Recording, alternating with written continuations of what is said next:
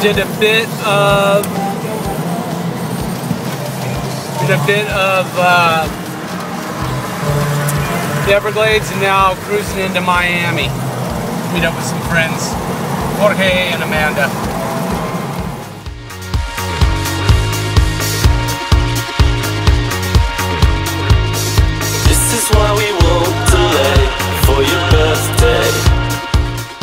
I'm with my buddy Jorge. We're going to go get some lunch. It's some Argentinian steak, churrasco. Is this is this called Brickell down here? Rico, uh, just south of downtown Miami. Okay.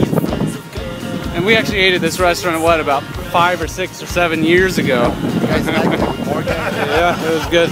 Great food. Good Argentinian steak and uh, wine. Yeah, Good with wine, right? yeah, let's do that. Novecento right there is the restaurant we ate at. Very good uh, steaks there. We met Jorge's friends uh, at this other little restaurant, and now we're going to drive back and go get my car. On my way to Miami Beach.